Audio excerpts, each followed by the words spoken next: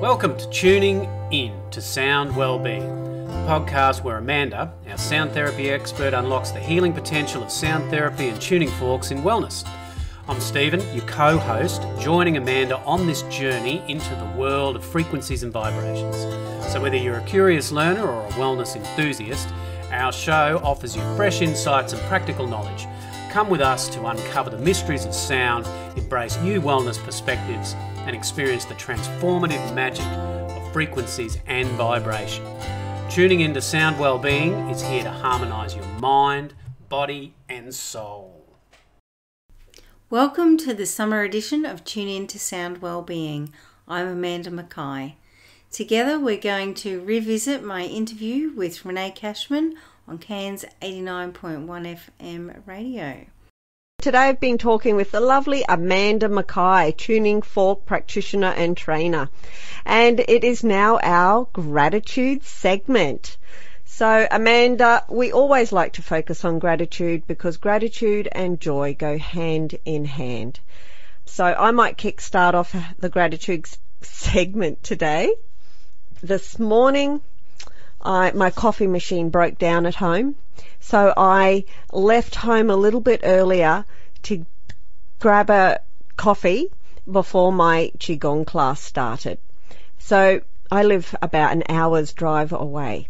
So I left home earlier and I got down to the bottom of the hill and I said, yes, I've got time. I can duck down into the Yorkeys Knob and grab a coffee. Well, I was, of course, because I'm in a hurry, making a quick dash for coffee. There was roadworks and there was stop signs and I had to stop. And I was like, oh, that would be right. Just when I'm in a hurry, you know, I didn't know there was going to be a traffic hold up like this. So anyway, I've already rang and ordered ahead, so, uh, you know, I feel like I have to still go and pick up my coffee.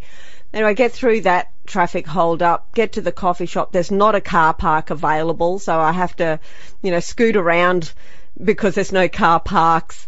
Then, of course, I have to wait on my way back um, coming back out of the Yorkeys Knob. So it was just obstacle, obstacle, obstacle. And I was like, Renee, this stopping to get a coffee here was the wrong decision. I turn up at my Qigong class um, 15 minutes before class is going to start, which is late for me, and there's students already waiting. And I open up the hall to find it is fully packed with chairs and everything is set up. And there's no room for me to teach my class. And it's like, oh, there's another obstacle. So in all the obstacles I felt, I had obstacles, obstacles, obstacles. I finished my class, I walked out, and of course I stubbed my toe, uh, like as if I was hitting another obstacle. So my gratitude in hitting all these obstacles this morning is that I could find peace in amongst those obstacles and I could find humor in amongst all those obstacles. And I'm also grateful that since then, um, they have cleared up. And my pathway getting here to do the show, I've had no obstacles. I've been really grateful. it seems like life throws those things in our path to see how we're going to handle them, not the fact that they're actually there, doesn't it? It does, yes. And that's why I'm grateful. Like, I wasn't like punching this down, I'm getting angry. It's like, oh, just, it's like a big cosmic joke. That's really interesting because I was thinking about what my gratitude is also, and it is the obstacles and moving through those things and getting to the other side that is the sweet spot that people talk about. You know, all these things that I've experienced through my life that may have felt difficult or challenging or, you know, you say, why is this happening? Why is this in front of me? But when you move through it and you can find the grace in it, you have such deep learning. And like I was saying earlier, that's how I've been able to learn so many different things that I can now help people.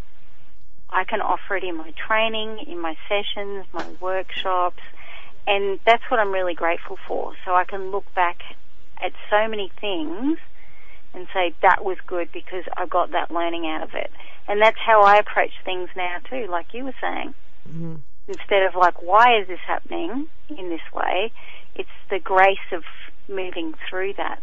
So it's the, it's gratefulness for the challenges as well because it shows you how you respond and how you might change and how you might heal and how you might progress. I'm always grateful for those things because it makes things better on the other side.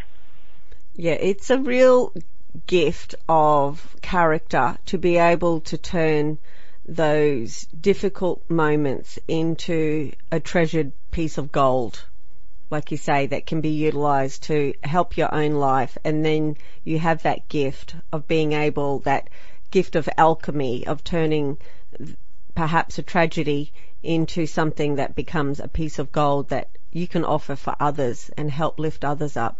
And um, that's that's a real gift. Yes, and I think that's for everybody. Yeah. No matter what you do, no matter where you are, we all have that opportunity, which is a, is a gift.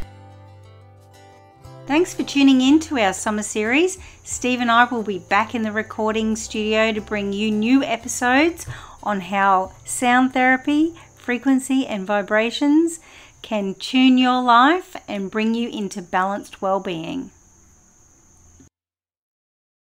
Miles, are you ready to record our promo for season two of the Wanna Bet podcast? David, have you ever seen a grown man naked? Miles, we're not here to quote lines from Airplane. We're here to tell people that season two starts August 18th. But I like Airplane. I know you do, but Wanna Bet is a sports betting podcast. Each week we bet $1,000 on the NFL teams and games that we love. Well, that sounds like fun. It is fun. And last year you picked over 60% of your games correctly. How'd you do? We're not talking about that. We are telling people that they can find us every Friday so no more movie quotes. Roger, Roger. Electricast. Hey, it's Tim from 50 Years of Music with 50 Year Old White Guys, the comedy podcast you had no idea you needed. Join Ben, Jeff, and me as we continue our musical road trip back through the years and around the globe. See, just when you thought all white guys were like Joe Rogan, you come across three educators trying to remember when we were cool. 50 years of music with 50 year old white guys.